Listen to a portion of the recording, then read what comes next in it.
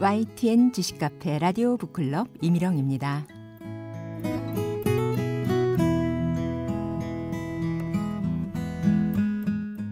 오늘은 어느 중국 책벌레 학자의 책 고양이의 서재를 소개합니다. 장 샤오 위안 박사는 상하이 교통대학교의 중국 최초로 과학사학과를 만들 정도로 이 분야에서 큰 업적을 남기고 있는 과학사학자이자 천문학자입니다.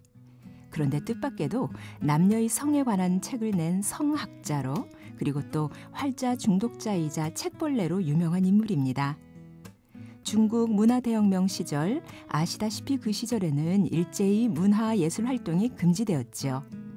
그런데 장샤오 위안은 바로 그 시절 초등학교 교사였던 아버지와 공공기관 간부였던 어머니가 문화혁명으로 폐쇄된 도서관에서 자신이 관리하던 도서를 몰래 가져다 준 덕분에 중국 고전은 물론이요, 러시아와 서양 고전을 탐독할 수 있었다고 합니다. 게다가 또래 친구들과 밤새며 몰래 돌려가면서 읽기도 했다는데요. 이 시절에 책 읽기는 성인이 되어서도 이어져 지금 중국에서도 네로라 하는 장서가요, 서평가로 활약하고 있습니다. 유럽이나 일본의 책벌레들에 관한 이야기는 많이 들었습니다. 책으로도 많이 나와 있지요.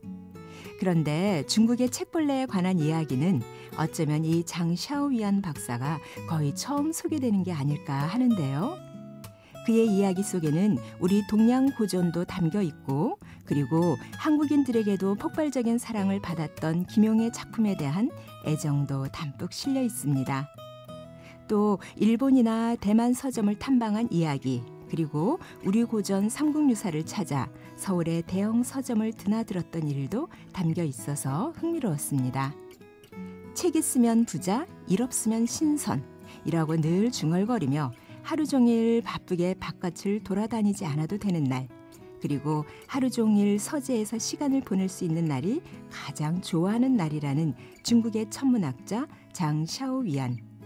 그의 책 읽고 글 쓰며 사는 이야기를 한번 만나보시지요.